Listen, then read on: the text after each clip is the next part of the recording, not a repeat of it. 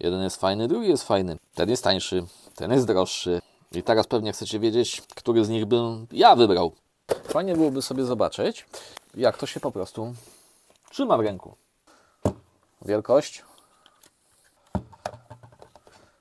No trochę jak tata z synkiem. O. Dlaczego akurat te multimetry? A otóż są one objęte akcją obniżamy ceny urządzeń podręcznych. I uwaga, ceny zostały obniżone na stałe, nie czasowo.